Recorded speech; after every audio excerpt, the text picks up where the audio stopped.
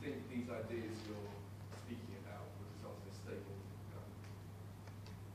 Do I think capitalism was the result of a stable government? The ideas you're listing were the result of a stable government? Yes. Given that you have to have a two-party system at least. Well, you have to have a multi-party system. And it doesn't exist anywhere now. Yes. I mean, note that the, the essence the essence is not the multi-party system. The essence is because, for example, uh, the founding fathers of the U.S. didn't believe there should be any parties. They, they thought everybody should run as an individual, uh, and there should be, in that sense, no parties, and that, that could be the outcome. I don't know what the outcome ultimately would be. It, didn't succeed. It, they reverted to parties very, very quickly afterwards.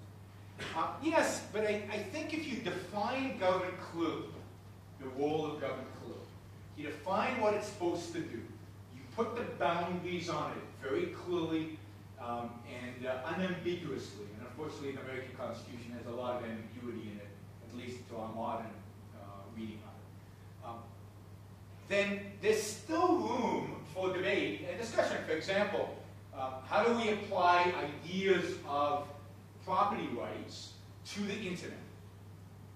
Not obvious, right? Not just something, oh, we could legitimately disagree about these issues. But the principle is applying the concept of individual rights to the internet. And the principle is non-initiation of force.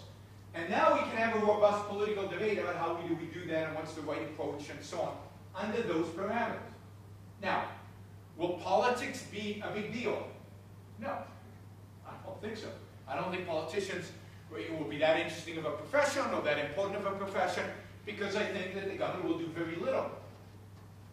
You know, maybe it only needs to meet, uh, you know, Congress only needs to meet three months a year.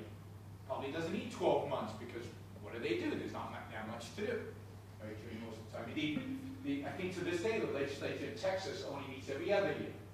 They don't even meet all the time. And, you know, Texas is probably the freest of the states, among the freest of the states in the United States.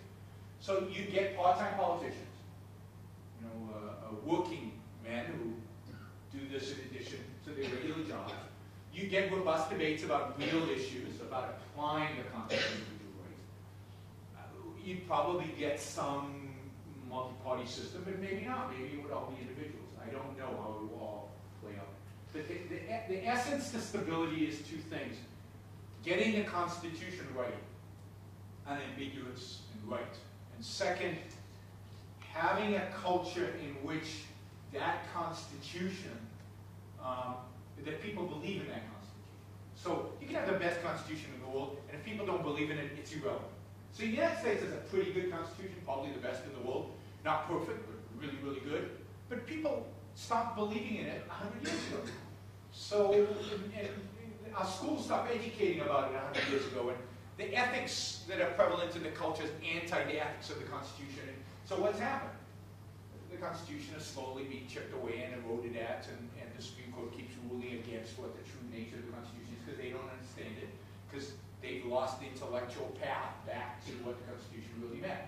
So you need, philosophically, a culture that believes, continues to believe, that that Constitution, that system of government is right in order for